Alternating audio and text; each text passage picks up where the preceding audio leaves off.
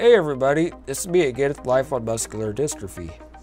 Today I talk about life events surrounding fifth grade that helped me.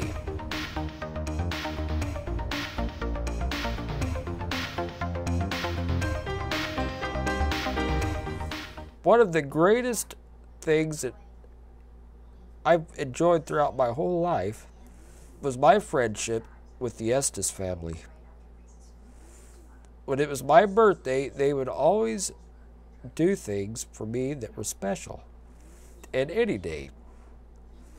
My 11th birthday in particular, Kay Estes, she was like a second mother to me. Brought me the probably the best thing that ever happened in my life.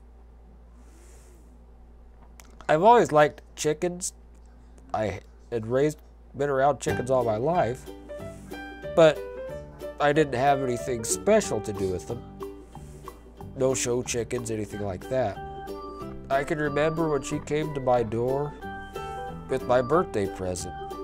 The family usually gave me like $2 bills and, you know, something that was really cool for me but she brought a lot of information about chickens. Some of it was from the ag agricultural co-op, and another was a catalog from Murray McMurray Hatchery. Oh, this catalog was amazing. I loved seeing all the chickens in it. I didn't know there was all these show chickens and things like that. I knew my brothers had had chickens, but I didn't know they were this cool. I memorized that catalog. I still have the Murray McMurray Hatchery catalog memorized.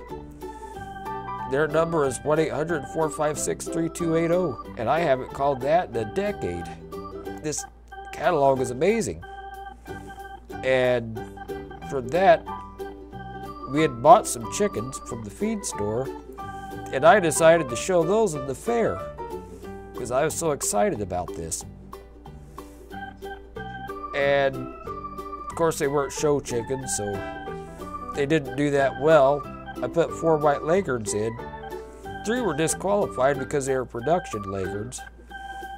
And then I got a blue ribbon on another one. But I kind of think that was maybe sympathy. I'm not sure. Well, I started getting interested in chickens. And eventually, my brothers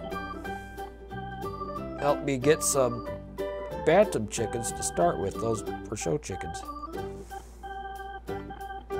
And oh, I love those beautiful little bantam chickens. They're soft and some people call them bandy, some people call them whatever, but I call it they're bantams. Had Rhode Island Reds and single comb white leghorns and rose comb white leghorns. Then eventually I got some barred rock bantams. I love looking into their genetics. And chickens were a great distraction from all the things bothering me.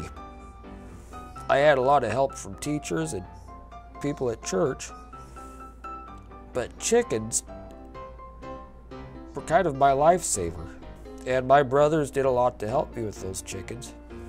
And of course, my parents did, especially now that I can't take care of my chickens.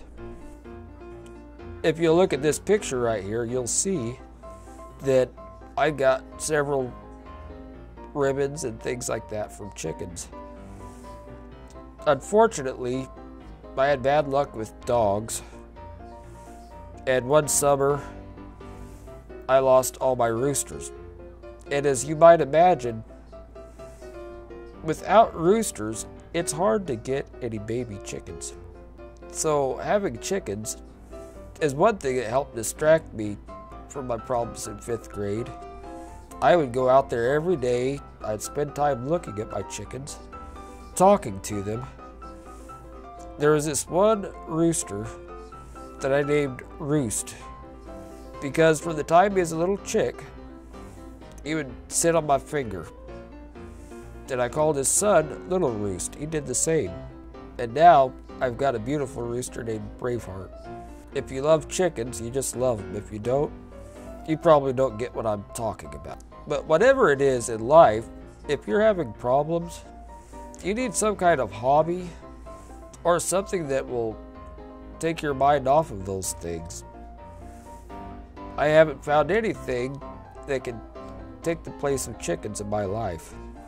I tried computer games and well, that was a distraction, but really it made me think more about what I would like to be doing and what I couldn't be doing.